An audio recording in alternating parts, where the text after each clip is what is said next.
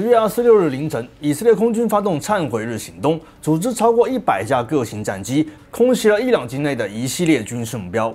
这是有史以来以色列对伊朗本土发动过的最大规模的攻击。时间已经过去了几天的时间，有更多的线索浮出了水面，所以咱们今天的节目就来分析一下这场空袭的过程、战果和对地区局势的影响。首先是攻击路线的选择，以色列距伊朗边境有一千公里的距离，往返一趟至少就是两千公里，这极大的推高了行动的难度。但是呢，我在之前的节目中就提到，以色列完全具备对伊朗的长距离打击能力。当时呢，还有人不信，请问你现在信了没有？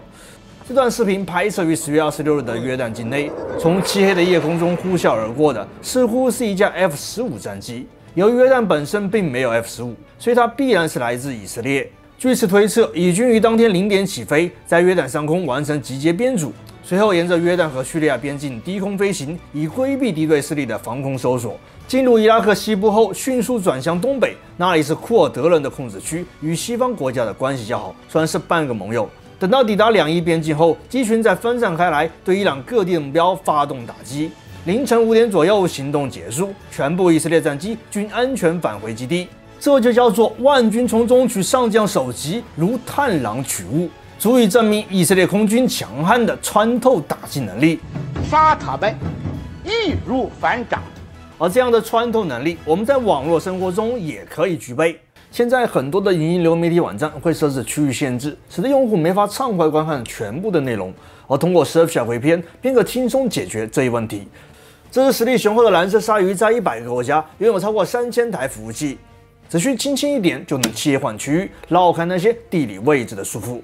此外，为用户创造安全可靠的网络环境，也是 Surfshark 的主要使命之一。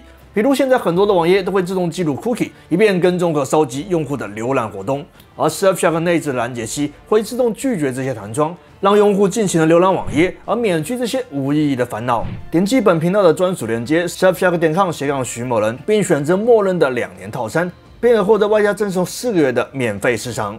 Surfshark 微片不只是微片，更是你身边的网络安全专家。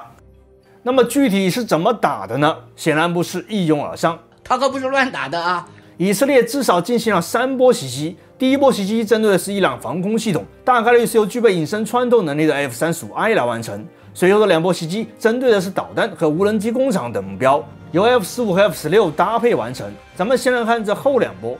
行动结束后，以军公布了 F 十五和 F 十六准备出击的画面。从徽章判断，他们分别来自第幺三三中队和第二五三中队。参战 F 四五携带了三个副油箱，一枚怪蛇格斗弹和 M 幺二零中距空空弹。这属于典型的空油配置，也很符合以军的习惯。在曾经的类似系统中，F 四五主要承担空中掩护任务，F 十六则负责执行对地打击。可是画面中的 F 十六 I 却只携带了三个副油箱，作战载荷被刻意的隐去。那么他们到底挂了些什么呢？事后在伊拉克发现了一片弹片残骸，为我们解释了这一疑问。这块残骸的外形与以色列新装备的岩石空射弹道导弹的尾翼极为吻合。这款武器最早出现在2019年，主要技术参数不详，但根据其体积和外形判断，其射程为500公里左右，极速4到5马赫。基本数据可以说是相当的普通，甚至都不如俄军的那些同类武器。但俗话说啊，好钢要用在刀刃上。以色列人没有玩中看不中用的高超音速，而是把属性点全都加在了制导模式上，延时融合拉斐尔公司加 Spice 精确制导炸弹的技术。发射时，先用 GPS 加关导系统引导至目标区域附近，然后切换为红外成像制导模式，使用先进的图像识别算法发现并锁定目标。必要时也可采用人在回路功能，由 F 十六的武器操作员手动导引。为使 F 十六 I 出击时需携带一个数据链吊舱，这种独特的复合制导模式能弥补弹道导弹飞行距离越长、精度越差的弊病，将圆周率误差缩小至三米以内。而且岩石导弹还配备了轻测型战斗部，很适合用于打击那些硬化或地下目标。一段视频显示，位于德黑兰南部四十公里的战术导弹工厂在空袭中被严重损毁，这大概率就是岩石导弹的打击效果。德黑兰距离两伊边境四百五十公里，刚好在岩石的射程范围内，因此事后有些人据此判断，以色列战机根本就没有进入伊朗境内，只是在边境匆忙丢下导弹后转身就跑。说实话呢，这个逻辑我不是很理解。这一次由于距离过远且地形复杂，以色列空军一改以往凌空轰炸的风格，让空射弹道导弹唱了回主角。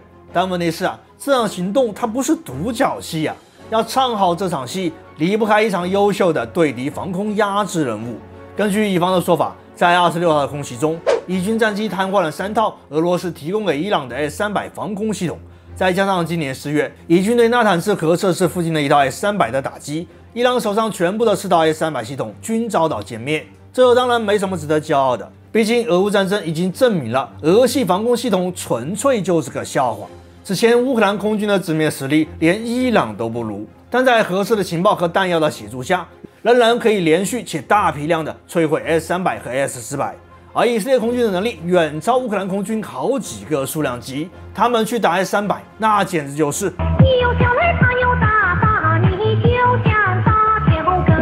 众所周知，这种对敌防空压制任务，最佳的选择自然是反辐射导弹，比如 AGM-88 哈姆，而其射程仅为一百五十公里。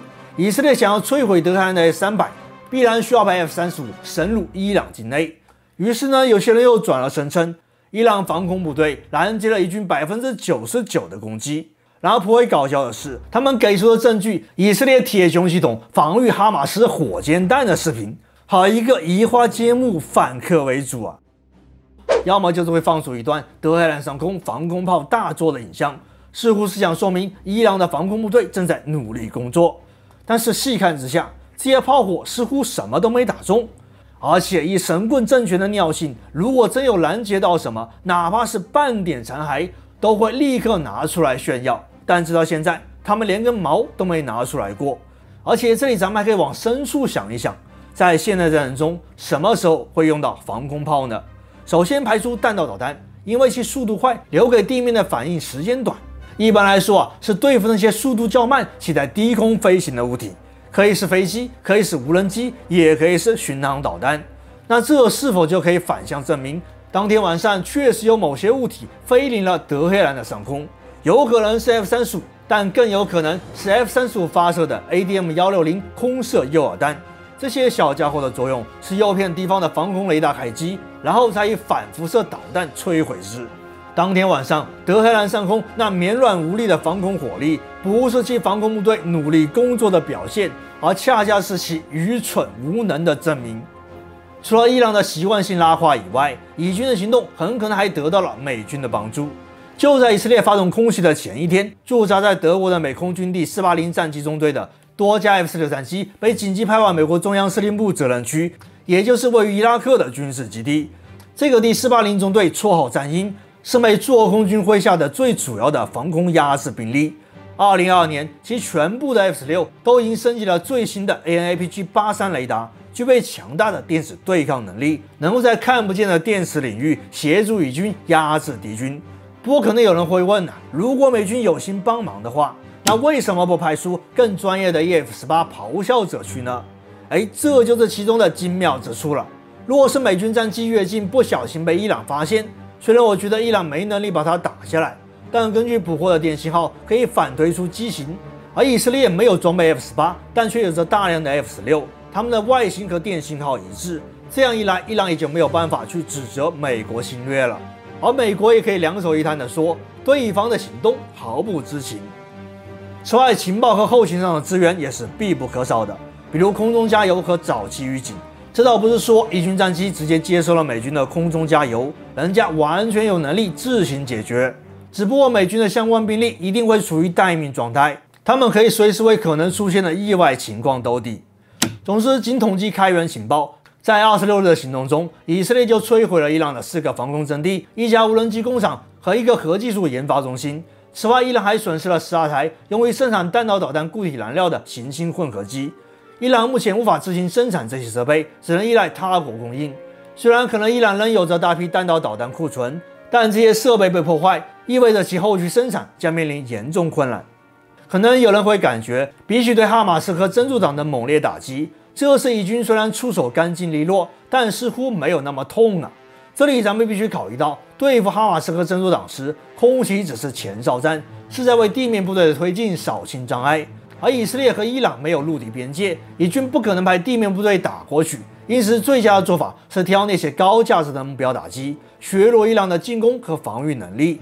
此外，比起这些战术效果，忏悔的行动产生的威慑力，可能才是以色列真正想要的。我记得在行动之前，伊朗曾对中东国家放出狠话：谁敢允许以军穿越领空对其发动攻击，谁就将遭到革命队狂风骤雨般的报复。而如今，以色列战机在约旦低空掠过，导弹残骸在伊拉克被发现。这都说明这些国家主动或被动地帮助了以色列。显然，伊朗的威胁失效了，或者说，比起伊朗，有一个令他们更害怕的对象。行动结束后，伊朗最高领袖哈梅内伊一反常态地表示，以色列的袭击不应被夸大或淡化，且没有呼吁立即进行报复性打击，表现的那是相当的克制啊。